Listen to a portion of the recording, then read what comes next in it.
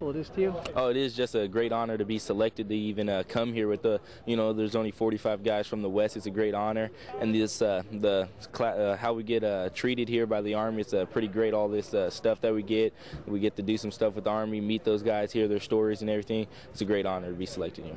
Your recruiting process. Can you talk about where we are in that process? The schools that are involved in, you know, brief thumbnails on each school that's still uh, in the running. Mm-hmm. I got a, uh, trip to UCLA set up after this. They're still in the uh, in the running. Then uh, vis- I took unofficial up to Cal, and they got a new DBs coach, which I uh, know pretty well, Coach Ambrose. So that's a great guy right there. And then I got Washington, Oregon State, and Boise State still in the running with Coach Petersen. He'll be making a home visit when I get back, or around the 17th. So some some good schools to choose from. What are the factors that you're weighing? I guess each of you guys have different, you know, factors. Whether it's playing time, whether it's academics, mm. you know, whether it's system.